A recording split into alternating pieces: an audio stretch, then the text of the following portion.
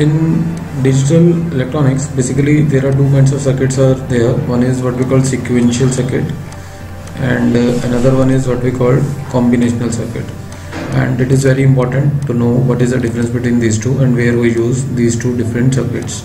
So if we are talking about the combinational circuit the combinational circuits are those circuits in which there are there are certain set of inputs and for that uh, corresponding that inputs uh, there is there there are certain outputs.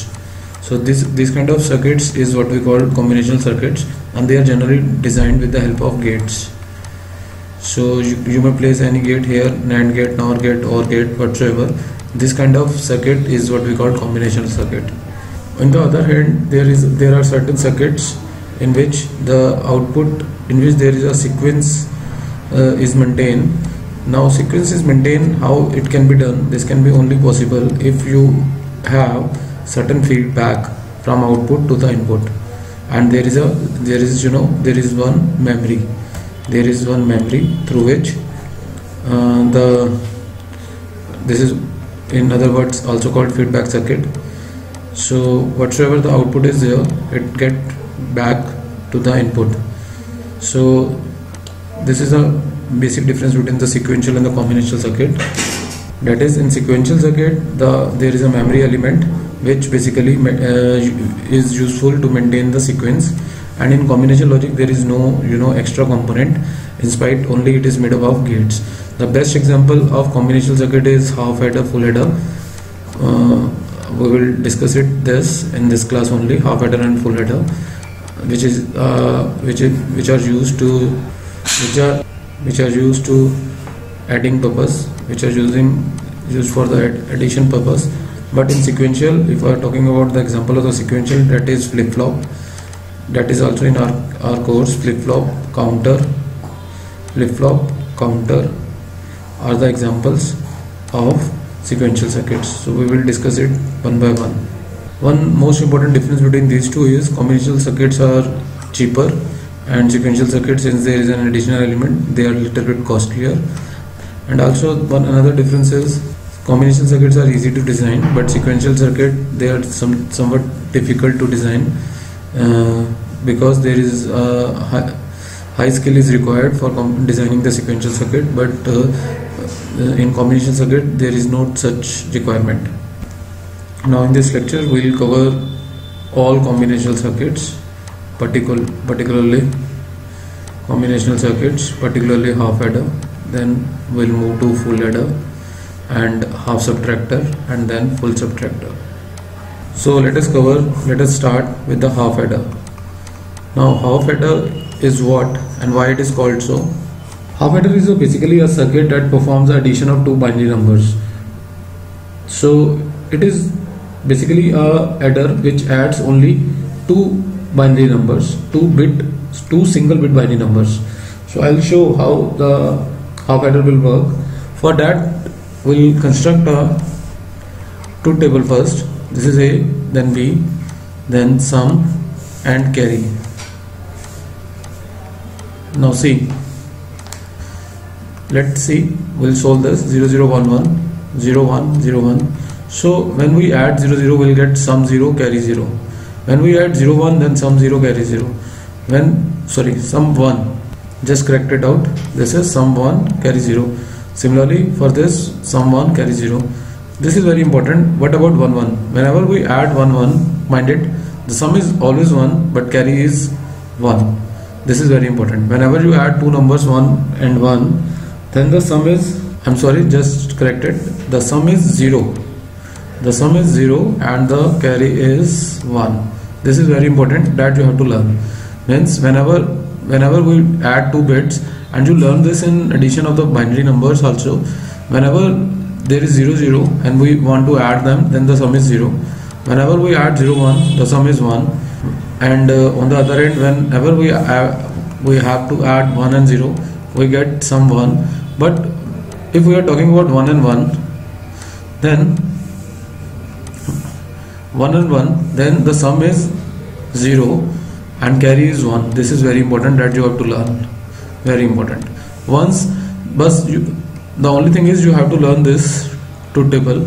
Once you learn this I'll tell you how to solve how to design its circuit and truth table everything. Uh, its circuits with the gates with NOR gates with NAND gates everything. Just you have to learn this. This is very important. Once you learn this truth table it is very easy to get the expression I'll tell you how. See, now see first of all you for designing of the circuit what you need you need a function. So I'll tell you how to get the function for the sum. Similar see for the sum there is one and one here. So to generate the function it is very easy. This is equal to a bar b and for this one this is a b bar and which is nothing but you know it is a XOR b. So this is a XOR b I'll tell you again how this will come. This is 0 that's why a bar is coming from here and this is b.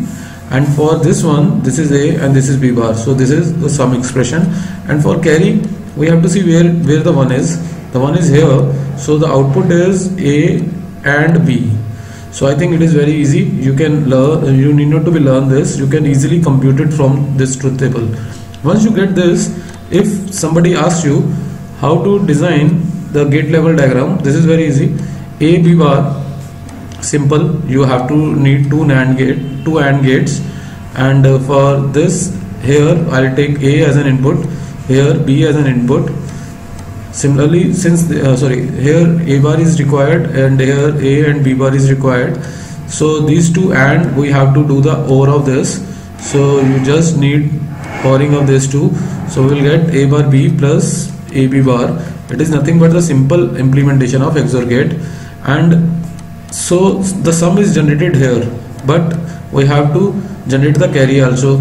For carry you need AB so I'll advise you you take this input only A and this input as a B and calculate the AB like this.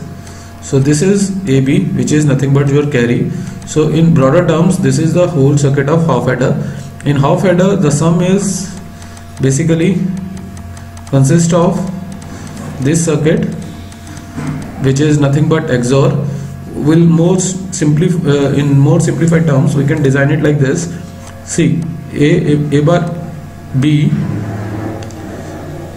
we can write it like this. This is a uh, this is a symbol of half adder. This is a and b. This is sum and this one is carry so you can write it half adder in the in between this the most important thing is you have to learn for sum it is a XOR b and for carry it is ab i think you understand.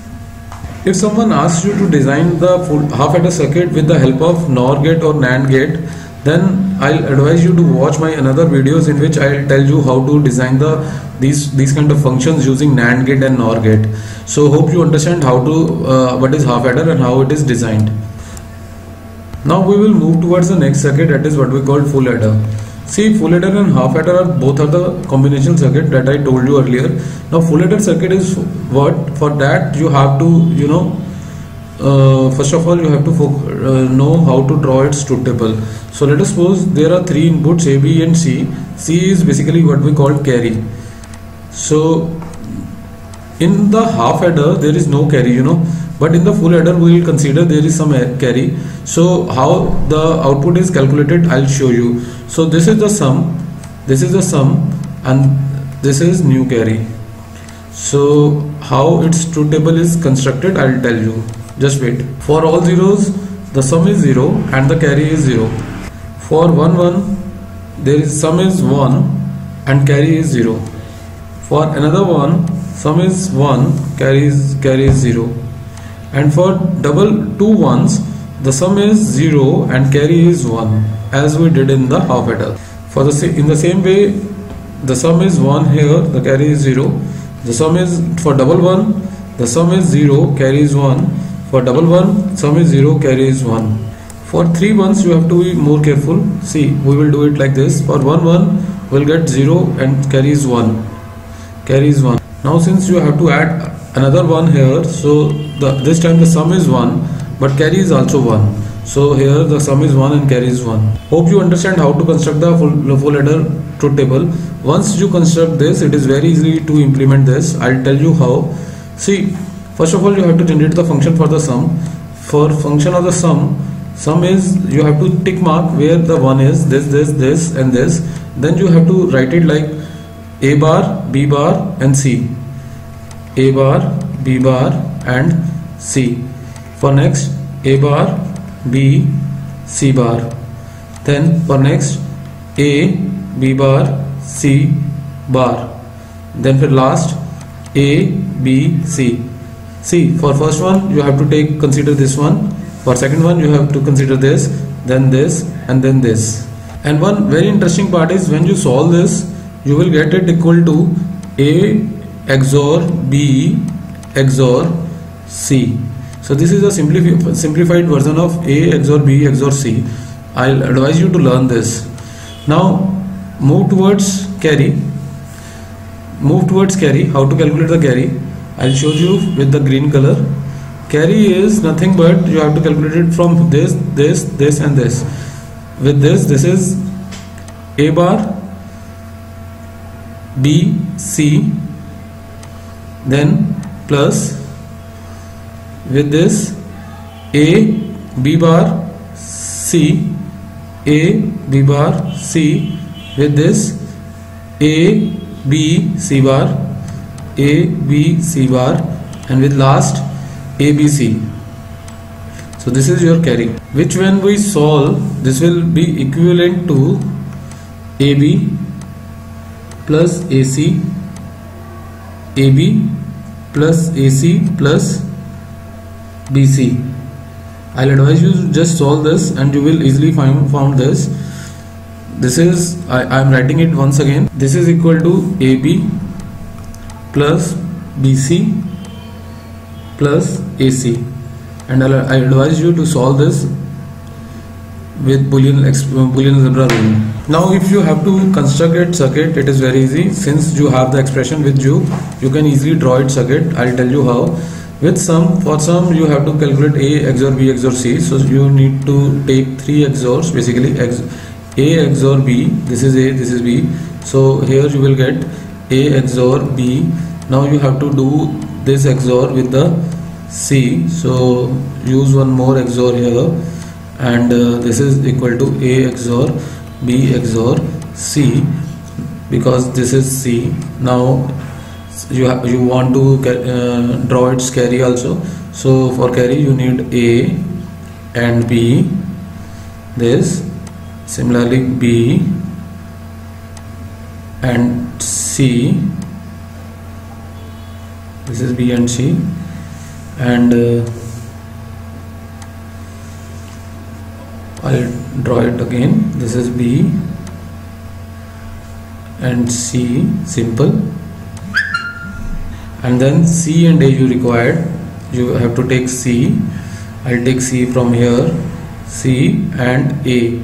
A I am taking from here and here I'll use one more. And and with this we want to OR all this. So I need one OR gate. So I am getting this AB plus BC plus AC and to draw this with the help of NAND gate and NOR gate I'll advise you to saw my other video in which I told you how to design the function with the help of NOR gate and NAND gate or in case you face any problem you just inbox me. I'll then uh, design it and give it to you. Thank you. Stay tuned